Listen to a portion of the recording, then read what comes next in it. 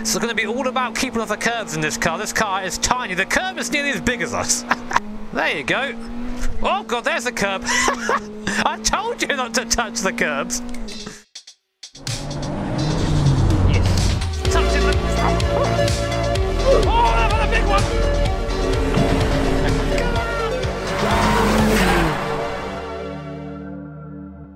Hey guys, Jimmy here and welcome back to another video. So last week I made a video driving the Praga R1 in sim in Assetto Corsa. For a couple of reasons really. First reason was to sort of, I guess, introduce you.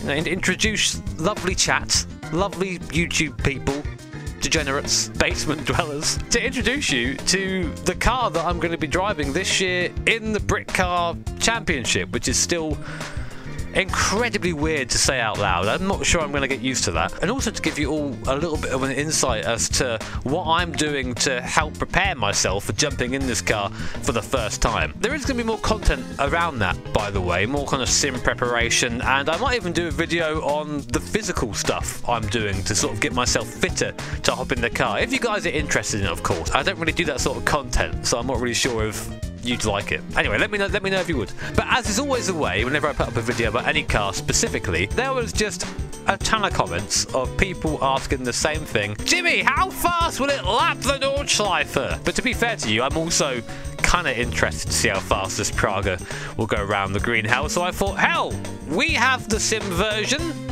I've got a simulator right here. I've got VR. Let's see how fast the Praga R1 can lap the Nordschleife, because why the hell not? Just a quick reminder, if you are unfamiliar with the R1, it's powered by a turbocharged 2-litre Renault engine, running about 380 horsepower on the highest available map. The car weighs just a hair over 600 kilograms, and has enough downforce to stick itself to the roof at 130 miles per hour. So it's definitely a serious bit of kit. So, back in the cockpit of the uh, the Praga R1 at a very snowy uh, Nürburgring. Um, now I'm going to do what I sort of used to do back in the day with these challenges, which is basically do an out lap and then the flying lap, and then that's the lap that I record and keep. So um, I guess let's go get on with it. A couple of little things before we sort of get going, just to get people up to speed, I suppose. Um, I am using a different physics set for this car than is available in the stock game. Makes it a bit quicker, sort of brings it up to line to what the car is uh, like nowadays as compared to what it was uh, when it was a naturally aspirated car. And that means that we have that 380 brake horsepower. We've got a bit more aero as well. I'd say that this car perhaps is a little bit quicker in a straight line than it is in real life, judging from onboard videos. Um, but otherwise, it's pretty close to what I can expect when I get in a driver's thing at the start of March. So we're going to just sort of start off by taking it somewhat easy, sort of learning where the edge of the grip is. Through here, for example, fifth gear, coming over the top of the Flugplatz through the fast right-hander, and then down here. So it's going to be all about keeping off the curves in this car. This car is tiny. The curve is nearly as big as us. nice down the bottom here, nice and smooth. There you go. Oh god, there's the curb. I told you not to touch the curbs. But I gotta say, I absolutely love getting to try this car in, in VR and getting an idea of just how big everything is. I said that in the last video. Just getting an idea of spacing and what you can expect when you actually drive this thing in real life is so valuable, especially for someone uh, like me who's not had the chance to drive the car yet.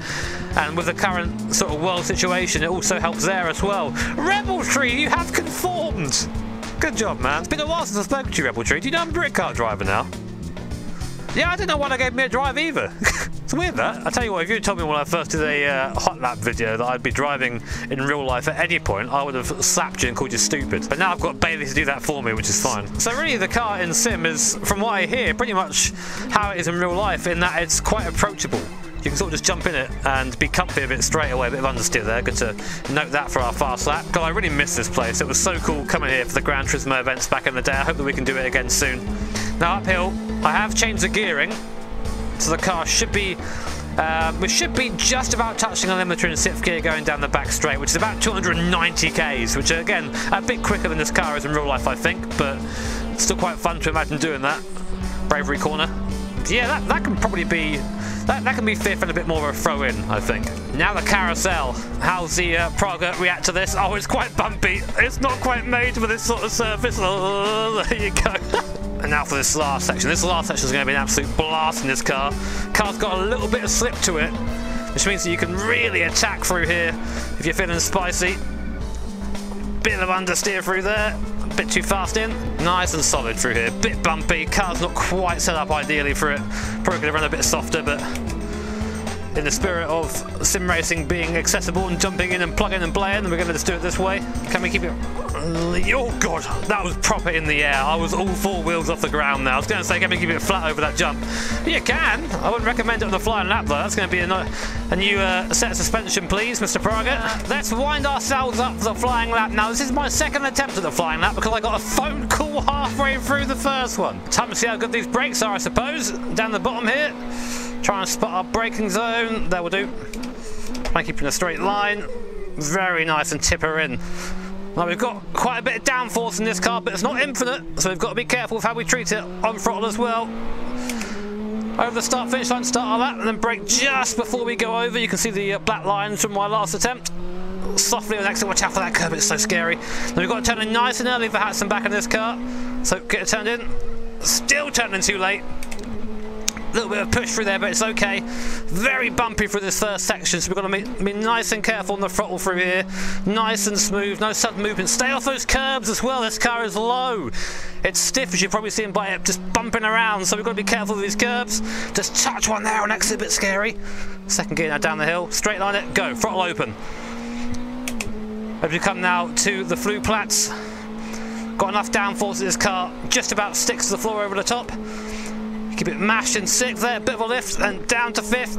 Turn her in, aim for that second apex nice, and let it just float out. And again, back on the front, all the way down the hill now.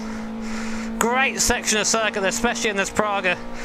Speed is winding up 280k, it's nearly 285 as we come over the brow of the hill. Just a dab of the brake for confidence, turn her in, back on the throttle, and then big straight line braking as we come now down towards the compression at the bottom of the hill bit of a slide next to there, get a bit too enthusiastic on the front. Well, it happens, it's a fun car. And now gravity gives us a bit of a freebie down here. And in real life, this little bit at the bottom of the circuit right here, the compression, bam, that would be a big hit in this car, given how stiff it is. But luckily we're in Sim, so we get away with it, just nibbling the curb there. No nibbling, Jimmy. Oh, there you go. Rear end of the car dancing. The brake bias is quite far back in this car. It's high, I've said it. Kind of enjoy it, so it's good. Hello, Rebel Tree, it's me, I'm back. Yeah, I know I did a lap before, but blame Veronica. And now, speed through here, back on the throttle nice and early. Uh, these are the corners where you can make them lose a lot of time if you're not careful, so we're going to try and, there you go, nice, just sort of slot it through the corner. Idea is not to fight the car too much, it likes to go through smoothly, doesn't like to be wrestled through corners. There, I had to get off the throttle a little bit earlier than I wanted to, just because getting on the curb, now miss it, miss, let's do it right. That'll do. Oh, just try a bit too much throttle there. Car started to get loose, but very recoverable, which is good.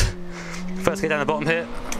Mat it in first, second, then third gear, and then up to fourth. And again, look to our braking spot down the bottom here. So easy to overshoot this, so we're going to brake a little bit earlier than I usually would. There you go, nice and wide through there. Carry the speed. Oh, so bumpy. And up here as well. Look at the wheel. Look at the thing bouncing around the circuit. This car is not made for this track at all. That's why it's even more fun to come and drive it around here. Sixth gear through the kink. No, help fifth, I think. Now for the corner that I never ever get right, ever, ever, ever. Oh, I got it right. Wow.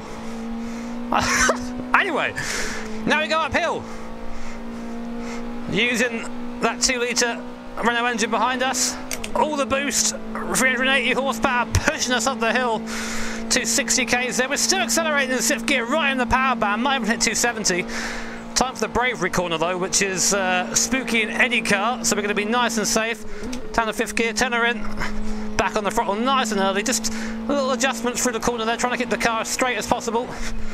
And then again through there, just again, just on the on the brake a little bit. We're going to brake a bit earlier here. There's some marks on the road there from some guy before, definitely not me. And now we go up the hill towards the carousel. Important to kind of respect the carousel here. So, second gear. Oh, it do be bumpy. It do be. It do be bumpy. And then we're through. Nice. And now we go up the hill we know we've got to be a bit, more careful in this corner on entry. Turning earlier, nice. We'll go fourth, probably go into third through this section as well. No, we'll keep fourth for now, use the torque. Now we go to third. Watch out for those curves, they're so sketchy in this car, man. They're so tall, and this car's a prototype basically. They're not made to go near curbs like this. It likes flat curbs. This one's okay. Oh, piff paff. Piff paff, I'm like, no, it's not Wippermann, sorry. Well, piff paff is Spark. I'm lost in my brain, Bono. Just really easy down here, not pushing the car too much because of the bumps. The bumps make it a lot harder for the sets and you want it to be a little bit wide next to that. Don't tell Mr. Praga, don't tell him. It's alright. Now YouTube corner. And again, heavy on the brakes up here. Trying to turn around late, try and carry the speed in, but we're just scrubbing a little bit there. Just a little bit too late of a turn, and it happens. And struggling a bit on traction over the rise, but putting it down eventually. We're going to brake a tiny bit before this jump because we know we're going to take off. There you go. Fifth gear on the way in. Aim for the second apex just about meet it, meet it, and then we go to fifth early, down the hill. So careful down this part of the circuit because the car is moving all over the place because of the speed of it, and all the bumps and all the uh, camber. Really this difficult part of the track. Brake early here, hug the inside, staying to the right so we can get a nice run into this left-hander. Fourth gear could be third there, but fourth is okay. And then we go into the worst corner in the circuit. I hate you, I hate you, I hate you, I hate you. We're out, just about. Oh, what a lap. And now, for the top part of the course, trying to find my place to get back on the throttle and stay on it. That'll do. And open her up now, and now we just, just try and compose ourselves for that last big braking zone. We're going to be somewhere just over six minutes. We come onto the backstroke of 5.45, 5.50 now again. Look at that speedo. 278, 279, 280. Still going. Come on, little Praga. Saw you, baby. This is a bit, yeah. Have to wait. And now we prepare ourselves for the big break at the bottom. We can still mess the lap up, so we've got to be careful. Heavy brakes. Big bump there on the wheel as we hit the curb. Nice and smooth though. Trying to just be careful that power application. So easy to even get loose now. Across the line. And the time is a 627. 0.7. A long way under a seven minute lap, and even under six and a half minutes. This car is feckin' rapid. And for some reason, I'm driving it next season. Well, this season. Oh, man. Whew, what a ride. Oh, man. I tell you what, sweaty after that. VR do be like that. I, I, always forget that putting this box of heat in your head makes you sweat. It's it's weird that, isn't it? But I hope you guys enjoyed watching the lap. 627 is pretty quick. Makes me feel a little bit nervous about getting in the car in real life, but I'm, I'm sure it's going to be awesome and I really can't wait to get behind the wheel of this thing. If you guys enjoyed the video, I'd appreciate it. Of course, if you tap that like button, you can subscribe as well as you want because we are on our way slowly to 700,000 subscribers, which is a lot of boys. As always, a massive thank you to the patrons and members of the channel for supporting me and allowing me to live my dream. It is a mad life, this, and I am very fortunate to be able to live it, and I couldn't do it without you guys at home. So take care, have an awesome day, and I'll see you all next time.